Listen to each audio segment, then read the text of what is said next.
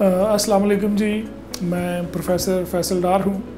Pakistan kidney and liver institute Lahore में liver transplant और pancreatic surgeon हूँ। हमारा diet and health education programme जो है, उसके थ्रू हम आपको पाकिस्तान में डिफरेंट फ्रूट्स वेजिटेबल्स और जो नेचुरल डाइट्स हैं, उनके बारे में, उनकी जो स्पेशली मेडिकल में सिग्निफिकेंस है, उसके बारे में बताने की कोशिश करते हैं।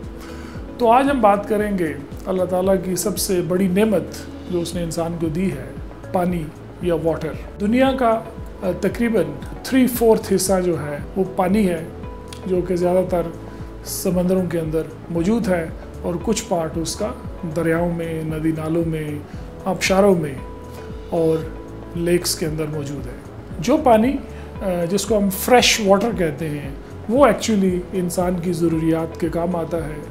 और दुनिया में जितना भी पानी है, उसमें से जो फ्रेश वाटर है, वो हार्डली 2.5 परसेंट है। यानी दुनिया में जितना भी पानी है, उसका सिर्फ़ ढाई परसेंट जो है, वो फ्रेश वाटर है। और इसमें से भी सिर्फ़ 1.5 परसेंट जो है, वो एक्सेसिबल है, यानी इंसान की रीच में है। बाकी वन परसेंट बहुत दूर पहाड़ों में, बर्फ़ की शक्ल में या ज़मीन की बहुत ज़्यादा गहराइयों में मौजूद है, जो इंसान को एक्सेसिबल ही नहीं है। तो एट द एंड हमारे पास एक बहुत कम प्रपोर्शन ऑफ़ पानी दुनिया में एज अ रिसोर्स रह जाता है। और इंसान की ज़िंदगी का दारोमदार जो है, वो इस फ्रेश वाटर पे है। अगर इन हम अपनी इंसान की बॉडी की कंपोजिशन को भी देखें तो तकरीबन 70 परसेंट हमारी बॉडी का जो है that is compose of water वो सेल्स के अंदर हो सर्कुलेशंस के अंदर हो टिश्यूज़ के अंदर मसल्स बोन्स के अंदर। सो ऑल टुगेदर 70 परसेंट रफली of a human body is compose of water और ये पानी इंसान की जिस्म के अंदर जितने भी ज़रूरी फ़ंक्शंस हैं, उनके लिए कितना इम्पोर्टेंट है। यानी 70 परसेंट आपकी बॉडी का जो है, वो पानी से बना हुआ है। तो पानी के जो मोटे मोटे फ़ायदे हैं जो एक आम आदमी को भी तकरीबन पता होते हैं, उनको हम पहले देख लेते हैं।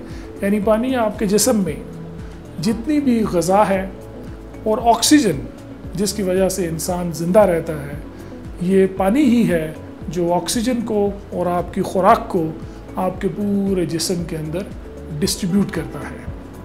अगर जिसम के अंदर पानी की कमी हो जाए तो यकीनन ब्लड के अंदर जो ऑक्सीजन कैरिंग कैपेसिटी है, वो भी कम होगी और जो खुराक है माइक्रोस्कोपिक लेवल पे, वो सेल्स तक नहीं पहुँच पाएगी। इसके अलावा पानी की मकदार जो है, वो आपके मसाने में अगर जरासीम बहुत ज़्यादा हो जाए तो उनको फ्लश करती है।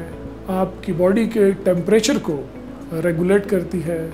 ब्लड प्रेशर को स्टेबलाइज करती है। जैसा कि किसी को बहुत ज़्यादा उल्टियाँ आ जाएँ या बहुत ज़्यादा लूज मोशंस हो जाए और उसमें पानी की कमी हो जाए तो ब्लड प्रेशर यकीन बहुत नीचे आ जाता है ऑक्सीजन का लेवल कम हो जाता है और खुदा न खासा बहुत सवियर डिहाइड्रेशन होने की शक्ल में इंसान की जान भी चली जाती है। इसी तरह कॉन्स्टिपेशन को कम करने में या ख़त्म करने में पानी बड़ा इंपॉर्टेंट रोल प्ले करता है। इसी तरह आपके बाकी बॉडी के जितने ऑर्गन और टिश्यूज़ हैं, उनको प्रोटेक्ट करता है। और आपके जॉइंट्स को एक कुशन का इफ़ेक्ट देता है कि विग्रस एक्टिविटीज़ के दौरान जॉइंट्स हैं वो अच्छी तरह मॉइस्ट रहते हैं और जोड़ों के अंदर ज़ख़म या चोट आने का इम्कान जो है वो कम हो जाता है। पानी से रिलेटेड ही बहुत सी मिथ्स भी हमारी सोसाइटी में हैं। जिस तरह के कहा जाता है कि जी कम अज़ कम हर शख्स को एक दिन में आठ गिलास पानी पीना चाहिए या छः गिलास पीना चाहिए या दस गिलास पीना चाहिए।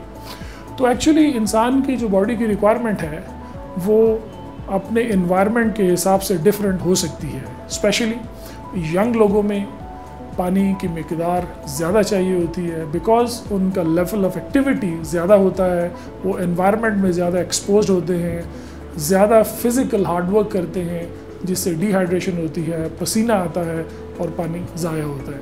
तो यंग लोगों को प्यास भी ज़्यादा लगती है और उनको बॉडी के अंदर पानी का जो टर्न है, वो भी ज़्यादा चाहिए होता है। तो ऑन एन एवरेज तकरीबन एक एडल्ट साइज़ की फ़ीमेल जो है, उनको दो एक लीटर जो है पानी in 24 four hours in a medium to hot weather पीना चाहिए। इसी तरह अडल्ट मेल के लिए रफली three litres in 24 four hours ये एक बेसिक सी रिक्वायरमेंट है, लेकिन ऑब्वियसली गर्मियों के मौसम में जब पसीना ज़्यादा आता है, पानी और नमकियात ज़्यादा ज़ाया होते हैं तो पानी की रिक्वायरमेंट ज़्यादा चाहिए होती है और सर्दियों के मौसम में ये चीज़ कम हो जाती है। इसी तरह पानी के बारे में दूसरी चीज़ है कि आपका वज़न कम करने में हेल्प करता है। देखिए डायरेक्टली पानी वज़न कम करने में बिल्कुल हेल्प नहीं करता, लेकिन डेफिनेटली खाना खाने से पहले अगर आप दो या तीन गिलास पानी के पी लें ये आपको एक फुलनेस का इफ़ेक्ट देती है जिससे एवेंचुअली आप एक्चुअली खाना कम खाते हैं एंड दैट्स इनडायरेक्टली हेल्प कि आपका वज़न जो है वो आहिस्ता आहिस्ता कम हो जाता है। इसी तरह आ, पानी कम पीने से पेशाब का रंग बड़ा गहरा हो जाता है डार्क यूरिन जिसको हम कहते हैं वो जो कि आम ज़ुबान में ये समझा जाता है कि ये पानी की कमी की वजह से है। ऑफ़ कोर्स जब आप पानी कम पीते हैं तो आपकी बॉडी पानी को ज़ाया होने नहीं देती। और मैक्सिमम जो वाटर है वो आपके गुर्दे एब्जॉर्ब कर लेते हैं तो आपके बॉडी के अंदर जो पानी का एक बैलेंस है, वो कायम रहे। तो डार्क यूरिन डेफिनेटली डिहाइड्रेशन की एक अलामत ज़रूर है। इसी तरह जब पानी की कमी जिसम में बहुत ज़्यादा हो जाए तो इंसान को चक्कर आने शुरू हो जाते हैं ब्लड प्रेशर कम हो जाता है, इंसान कंफ्यूज हो जाता है। तो प्यास जो है वो इनडायरेक्टली रिलेटेड नहीं है। कुछ लोगों को प्यास ज़्यादा लगती है, कुछ लोगों को प्यास कम लगती है। तो प्यास होने का ये मतलब डेफिनेटली नहीं है कि आप डिहाइड्रेटेड ही हैं। या टाइम्स अगर आपको प्यास नहीं लगी तो इसका ये मतलब नहीं है कि आपके जिसम में पानी की ज़्यादती या कमी हो चुकी है। इसी तरह पानी के बारे में एक और मेथ है जी कि आपकी स्किन को बड़ा शाइनी और ग्लोई रखता है। हालाँकि डायरेक्टली ऐसा कोई पानी का ताल्लुक नहीं है एक पानी का, जैसे मैंने कहा कि बॉडी के अंदर एक डिसेंट बैलेंस होना चाहिए, आपके टिश्यूज़ को एक नेचुरल फ्लेक्सिबिलिटी और उनके फ़ंक्शन के लिए वाटर का एक डिसेंट कंटेंट ज़रूर होना चाहिए। तो जब पानी की बहुत ज़्यादा कमी हो जाए सवियर डिहाइड्रेशन हो जाए तो यकीन आपकी स्किन के ऊपर रिंकल्स आ जाते हैं झुरझुरियाँ सी आ जाती हैं, लेकिन वो टेम्प्रेरी होते हैं, जैसे ही पानी की कमी पूरी होती है दो your skin goes back to normal तो पानी के इतने ज़्यादा फ़वाद हैं इंसानी ज़िंदगी के लिए, और पानी जो स्पेशली फ़्रेश वाटर है, जो इंसान अपने पीने के लिए इस्तेमाल करता है, सफ़ाई और तहारत के लिए इस्तेमाल करता है, हम अपना जितना एग्रीकल्चर है, सब्ज़ियाँ, फल उगाने के लिए, इसी फ्रेश वाटर की ज़रूरत होती है। और हमारी इंडस्ट्री के लिए यही फ्रेश वाटर इस्तेमाल होता है इरिगेशन के लिए इस्तेमाल होता है और बिजली बनाने के लिए या पावर जनरेशन के लिए भी यही फ्रेश वाटर इस्तेमाल किया जाता है। तो दुनिया में जैसे जैसे ग्लोबल वार्मिंग होती जा रही है दैट मीन्स दुनिया के टेम्परेचर्स जो हैं वो बढ़ते जा रहे हैं ह्यूमिड uh, और हॉट होते जा रहे हैं and this is all because of the increase human activity कि इंसान अपने फैक्ट्रियों में कारखानों में बहुत ज़्यादा केमिकल रिएक्शंस की वजह से दुनिया का जो टेम्परेचर है, वो बढ़ता जा रहा है। जो ग्लेशियर्स हैं नेचर ने एक बड़ा खूबसूरत बैलेंस रखा हुआ है। उन ग्लेशियर्स पिघलते जा रहे हैं, जो कि आपको पानी ज़ाया होने का भी एक तरीका है। तो हमें जो फ्रेश वाटर अवेलेबल है, जैसा कि मैंने कहा कि इसकी मकदार कम है तो पानी की मकदार भी एक बड़ा इंपॉर्टेंट फैक्टर है और at the same time the quality of this fresh water is also very important क्योंकि ह्यूमन एक्टिविटी की वजह से, जिस तरह हम अपने घरों में, अपनी फैक्ट्रियों कारखानों में वेस्ट प्रोडक्ट्स के अंदर फ़ूड इंडस्ट्री के अंदर जितने केमिकल्स इस्तेमाल करते हैं अवेंचुअली ये सारे के सारे केमिकल्स जो हैं, हमारे जो फ्रेश वाटर रिजर्वायर्स हैं, उनमें जाते हैं, उनको कंटेमिनेट करते हैं। और इन वेस्ट प्रोडक्ट्स के अंदर बहुत से न्यूट्रिएंट्स भी होते हैं। स्पेशली जिनमें नाइट्रेट्स और फॉस्फेट्स बहुत ज़्यादा शामिल हैं। जैसे जैसे ये वेस्ट हमारे फ्रेश वाटर के रिजर्व्स के साथ कंटेमिनेट करता है तो वहाँ पे बहुत ज़्यादा एल्जेई ग्रोथ होना शुरू हो जाती है, जो कि आपकी वाटर लाइफ जो स्पीशीज़ हैं, उनके लिए भी बहुत बड़ा ख़तरा है और इंसान के लिए भी, क्योंकि वाटर की क्वालिटी जो है, वो ख़राब हो जाती है। और इस वाटर को फिर साफ़ पानी, यानी पीने के काबिल बनाने के लिए बहुत ज़्यादा रिसोर्स लगाने पड़ते हैं।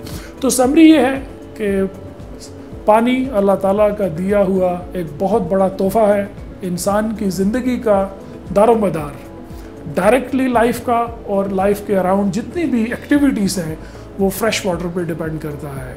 हमें पानी का भरपूर तरीके से इस्तेमाल करना चाहिए, लेकिन सोच समझ के और इसको ज़ाया होने से और ह्यूमन एक्टिविटी की वजह से कंटेमिनेट होने से रोकना चाहिए।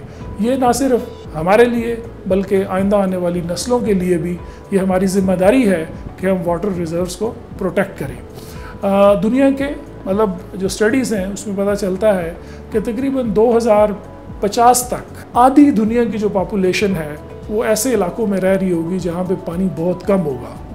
और इवन नाउ आज के दिन में दुनिया के बड़े और मॉडर्न शहर like London Tokyo Miami Bangalore, Moscow, Cape Town और पाकिस्तान में कराची। ये ऐसे शहर हैं जहाँ पे ऑलरेडी पानी की अवेलेबिलिटी बड़ी रिस्ट्रिक्ट होनी शुरू हो गई है। पानी की कमी का एहसास भरपूर तरीके से होना शुरू हो गया है। तो ये हम सब की एक कलेक्टिव रिस्पॉन्सिबिलिटी है कि अल्लाह ताला की दी हुई इस नेमत का हम ख्याल रखें, सोच समझ के इसको इस्तेमाल करें ताकि हमारे लिए और आइंदा आने वाली नस्लों के लिए ये रिज़र्व वहाँ पे हो खुदाफिज़